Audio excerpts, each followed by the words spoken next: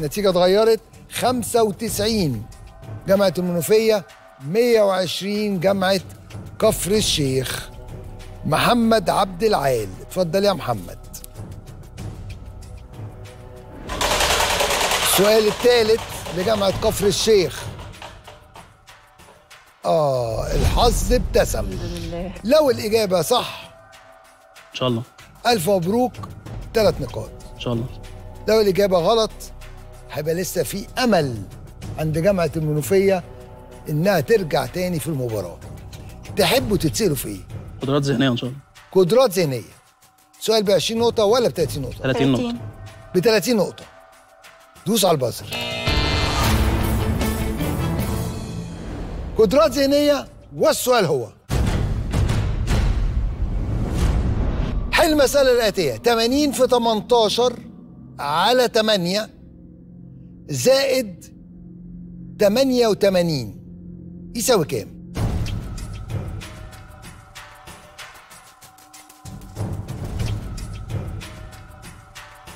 سبع ثواني. فاطمة لو إجابتك صح ألف مبروك الثلاث نقاط و30 نقطة وإجابتك؟ 268 268 يا فاطمة إجابة صحيحة. 268 هي الإجابة الصحيحة. برافو عليك يا فاطمة. جامعة كفر الشيخ ألف مبروك. الثلاث نقاط. وهارد لك جامعة المنوفية. طارت منكم المباراة ولكن أملكم في التأهل لسه موجود. السؤال الرابع عبد الله. اتفضل يا عبد الله.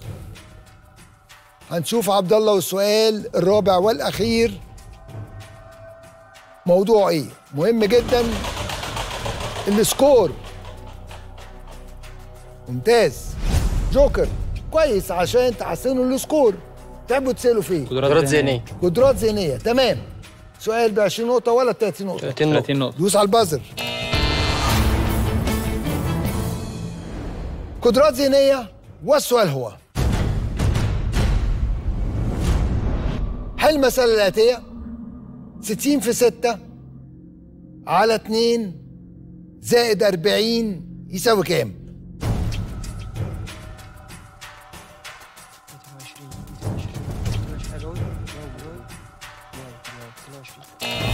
مصطفى عماد؟ 220 220 ب 30 نقطة.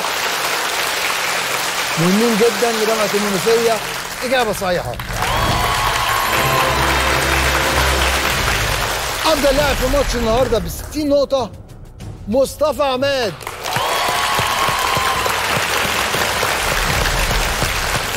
تعالوا نشوف ترتيب المجموعة الرابعة اللي اتعقدت بعد ماتش النهاردة في الصدارة بعد ماتش النهارده جامعه المنوفيه بثلاث نقاط 245 نقطه اجابات صحيحه المركز الثاني جامعه كفر الشيخ ثلاث نقط 240 نقطة. إجابات صحيحة.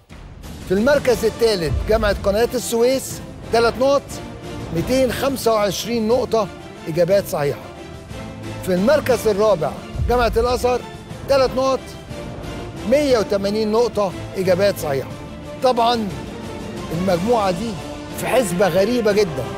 أي حد ممكن يتأهل؟ خلينا نشوف المجموعة الرابعة هتمشي إزاي.